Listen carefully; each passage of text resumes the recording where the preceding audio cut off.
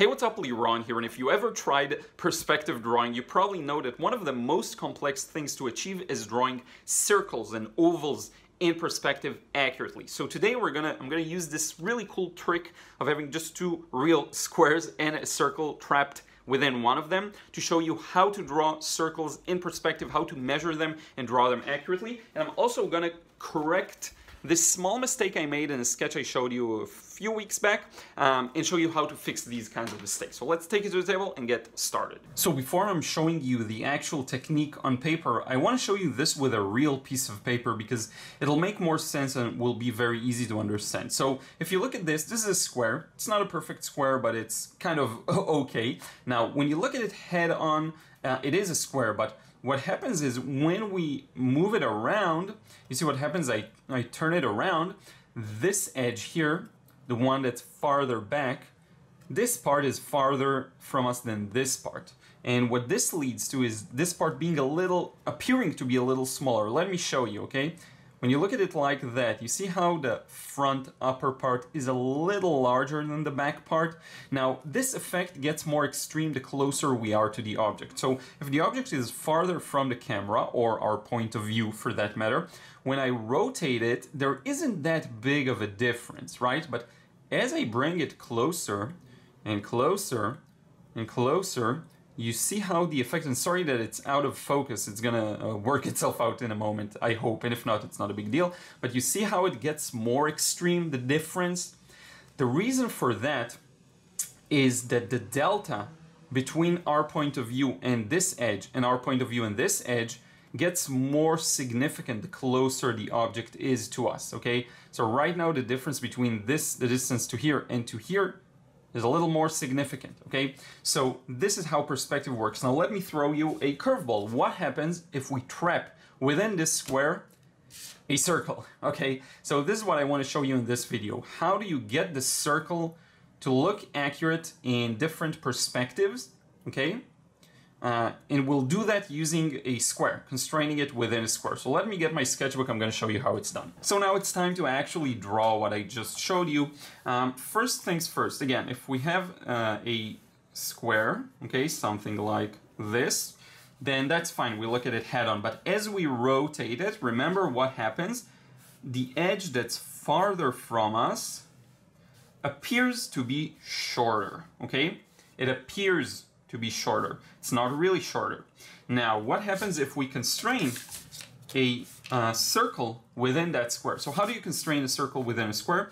The circle actually touches the center of all sides of the square. So if we were to mark the centers, and you can eyeball it, it doesn't have to be fully accurate, and then we would constrain a circle within that, and I'm going to try and be as accurate as I can.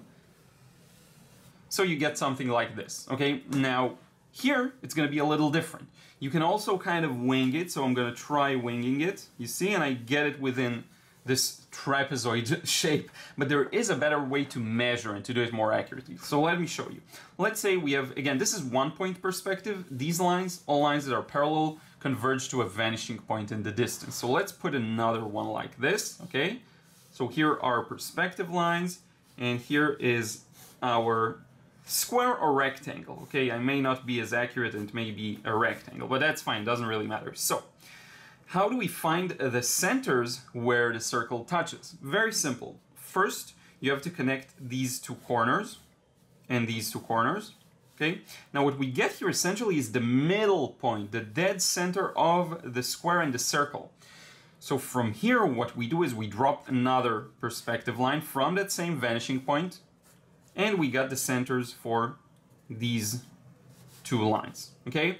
Now, how do we find the centers for these two lines? We drop, again, a line through this point. This time, these lines are pretty much uh, parallel, so we'll drop another parallel line here, and we got the centers. So we got one, two, three, four. If we want to draw a circle here, it has to touch all of these points to be accurate, okay? Or an oval. It could also be an oval because uh, it may be a rectangle. Okay, but and do it slowly. Okay, try ghost it. Just do the movement and then place in the line.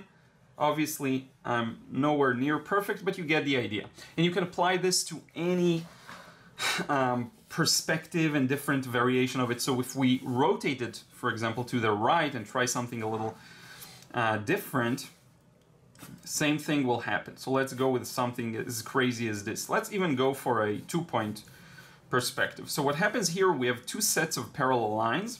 One is this, and this is fairly obvious, converges to this vanishing point, but these two lines, if you notice, are not perfectly parallel as well. They will meet somewhere there, okay? Now, why does this happen? Because I have this piece of paper, and what happens is I tilt it both here and here, okay? So this side is farther from this side, but this side is also farther from us from this side.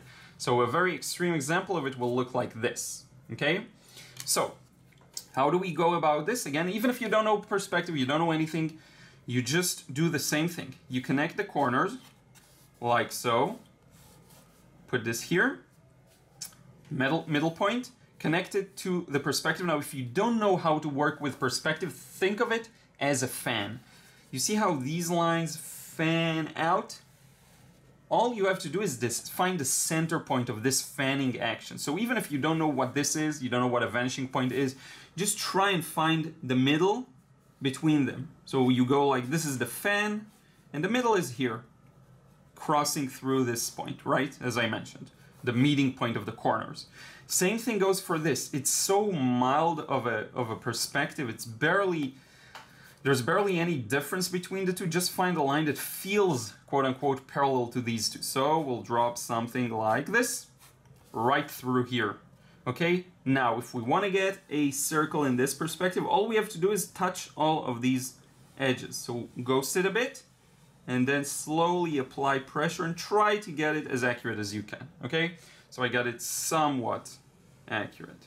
Now I want to show you one small thing as I made a mistake in one of my last sketches. Let me bring it to you. So if you remember, I showed you this car sketch. Now this tire, this is okay, but this one is not fully in perspective correctly. So let me show you how you'd get that in perspective, okay?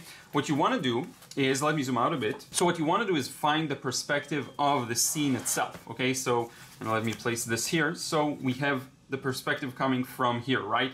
So we get this, and this, and this, and this. And within that, you want to constrain the circle. And that's how you get it accurate. You do the same thing. Connect the corners, drop this line, drop this line, and then drop a, a, circle within that. And that's how you get it to be accurate. Now you have to remember one more thing. This is a little complex. I will touch upon it in a different video. The other tire is somewhere around here, right?